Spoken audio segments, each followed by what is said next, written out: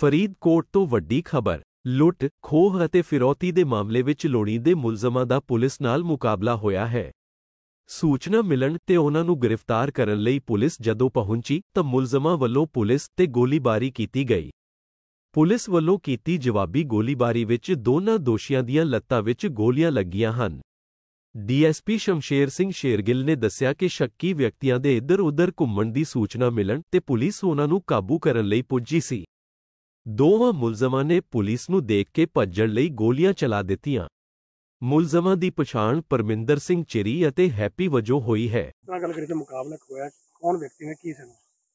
ਇਹ ਜੀ ਪਰਮਿੰਦਰ ਚਿੜੀ ਤੇ ਹੈਪੀ ਨਾਂ ਦੇ ਜਿਹੜੇ ਹੈਗੇ ਆ ਇਹ ਚਾਚੇ ਤਾਇਆਂ ਦੇ ਪੁੱਤ ਹੈਗੇ ਆ। ਤੇ ਇਹ ਜਿਹੜੇ ਹੈਗੇ ਆ ਲੁੱਟ ਖੋਹ ਐਕਸਟੋਰਸ਼ਨ ਇਸ ਤਰ੍ਹਾਂ ਦਾ ਕੰਮ ਕਰਦੇ। ਪਹਿਲਾਂ ਵੀ ਇਹਨਾਂ ਦੇ ਪਹਿਲਾਂ ਪਰਚੇ ਦਰਜ ਹੈਗੇ ਆ। ਅੱਜ ਵੀ ਜਿਹੜੀ ਹੈ ਪਹਿਲੀ ਨਹਿਰ ਤੇ ਜਿਹੜੀ ਹੈਗੇ ਆ ਕਿਸੇ ਪਬਲਿਕ ਦੇ ਬੰਦੇ ਨੇ ਦੱਸਿਆ ਵੀ ਇੱਥੇ ਸ਼ੱਕੀ ਬੰਦੇ ਜਿਹੜੇ ਹੈਗੇ ਜੀ ਫਿਰਦੇ ਜਾਪਦੇ ਆ।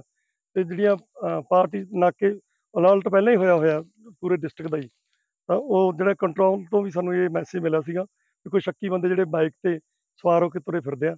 ਤਾਂ ਜਦੋਂ ਹੁਣ ਇੱਥੇ ਇਹਨਾਂ ਨੇ ਜਦੋਂ ਪੁਲਿਸ ਪਾਰਟੀ ਨੇ ਇਹਨਾਂ ਨੂੰ ਆ ਕੇ ਜਦੋਂ ਇਹਨਾਂ ਨੂੰ ਰੋਕਣ ਦੀ ਕੋਸ਼ਿਸ਼ ਕੀਤੀ, ਤਾਂ ਇਹਨਾਂ ਨੇ ਫਿਰ ਅੱਗੋਂ ਫਾਇਰਿੰਗ ਕੀਤੀ ਹੈ ਜੀ ਉਹ ਫਾਇਰਿੰਗ ਦੇ ਵਿੱਚ ਜਿਹੜੀ ਆ ਇਹਨਾਂ ਦੋ ਜਣਾਂ ਦੇ ਵੀ ਗੋਲੀ ਲੱਗੀ ਹੈਗੀ ਆ ਤੇ ਜਿਹੜਾ ਨੈਕਸਟ ਉਹਨਾਂ ਸੀ ਉਹਨਾਂ ਨੂੰ ਐਡਮਿਸ਼ਨ ਵਾਸਤੇ ਭੇਜਤਾ ਹੈਗਾ ਉਹਨਾਂ ਦਾ ਟ੍ਰੀਟਮੈਂਟ ਕਰਾਉਣੇ ਆ। ਕਿੰਨੇ ਕੁ ਫਾਇਰ ਹੋਏ?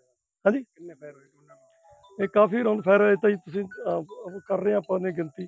ਹਾਂਜੀ। ਫਰਦਰ ਪੁੱਛਗਿੱਛ ਦੇ ਵਿੱਚ ਕੁਝ ਸਾਹਮਣੇ ਆਇਆ ਕੁਝ ਪੁੱਛਗਿੱਛ ਦੇ ਵਿੱਚ ਜੀ ਕਿਉਂਕਿ ਆਲਰੇਡੀ ਇਹਨਾਂ ਨੇ ਜਿਹੜੇ ਕੋਟਕਪੂਰਾ ਵਿਖੇ ਜਿਹੜੀਆਂ ਅਹ, ਜਿਹੜੀ ਕਾਰ ਤੇ ਉਦੋਂ ਜਦੋਂ ਗੋਲੀਆਂ ਵੱਜੀਆਂ ਸੀਗੀਆਂ ਤੇ ਕੇਸ ਰਜਿਸਟਰ 24/5 ਨੂੰ ਜਿਹੜਾ ਹੋਇਆ ਸੀਗਾ। ਤੇ ਉਹ ਉਦੋਂ ਉਹਨਾਂ ਤੋਂ ਵੀ ਇਹਨਾਂ ਨੇ ਜਿਹੜੇ ਆ ਮੋਬਾਈਲਾਂ ਵਾਲੇ ਤੋਂ ਜਿਹੜੇ ਪੈਸੇ ਲੈਣੇ ਸੀ ਫਰੋਤੀ ਲੈਣੀ ਸੀ। ਇਹ ਸੀ ਅੱਜ ਦੀ ਵੱਡੀ ਖਬਰ। ਹੋਰ ਅਪਡੇਟਸ ਲਈ ਦੇਖਦੇ ਰਹੋ C K Punjab YouTube channel